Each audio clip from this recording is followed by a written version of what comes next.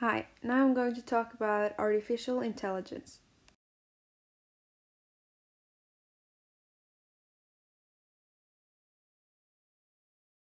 History The dream of creating intelligent machines began with the ancient Greeks, but it was not until the 20th century that we approached the goal.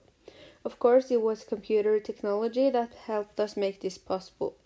The goal of artificial intelligence was not to create something that challenged what the human brain could do, but to create systems that worked according to some of the same principles.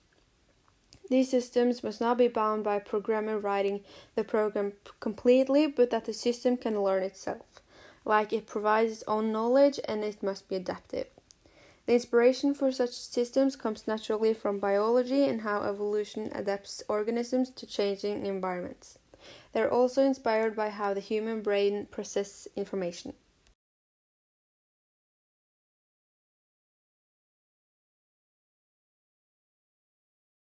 Challenges. The first up is privacy.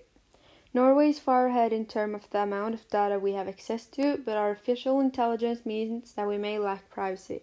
They have learned algorithms that can find out everything about you in milliseconds. This can be uncomfortable and is a daily challenge. The second challenge is that power consumption will increase sharply. It takes a lot of electricity to train a machine. Training models can require as much energy and emit as much carbon dioxide as several car- cars do through their lifetime. It is also not particularly sustainable, but efforts are constantly me- being made to reduce consumption.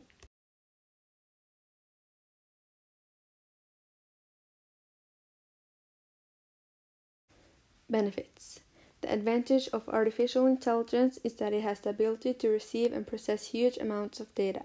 In addition, you eliminate the possibility of human error and it can work all day. It does not need breaks as we do, so that means you have time to do other important work.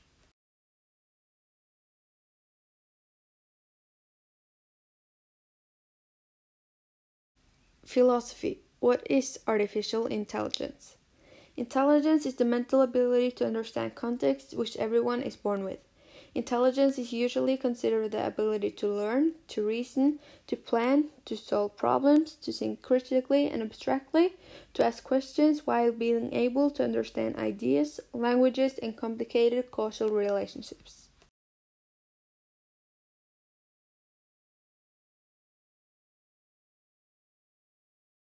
Ethics is it okay to replace the working people with machines? Personally, I don't think so. I think we need to explore more on how it works and whether it is wise to replace the working people with machines. We don't know yet if the existing machines are smarter than our human brain, and that's why we need to explore more. It is risky if many people lose their jobs because it can lead to poverty and depression.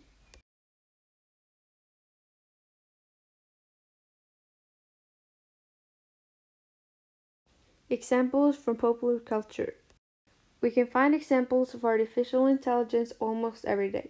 Most people use services like Google, Netflix, and Spotify every day.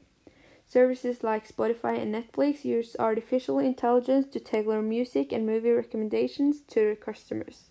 They base their recommendations on your past viewing habits. You may have seen this type of message while listening to music. Do you listen to the artist Lorde?